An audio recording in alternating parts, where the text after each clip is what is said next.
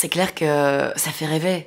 Voilà, on va pas se cacher. euh, C'est quelque chose qui est quand même euh, toujours un peu, un peu magique. En plus, quand on voit le succès euh, des acteurs, des comédiens belges, comment dire, dans la scène française, donc tu te dis que c'est quand même quelque chose où tu te dis, waouh, ils sont euh, au cinéma. Le cinéma, c'est le grand écran, c'est, huge, c'est quand même assez, euh, assez magique. Donc, euh, donc non, moi je suis, je suis contente. Moi, je suis mon petit bonhomme de chemin. Euh, euh, j'adore qu'on me propose de faire des voix. Je suis en train de travailler euh, pour faire des voix d'animation pour les enfants parce que c'est ce que je kiffe aussi.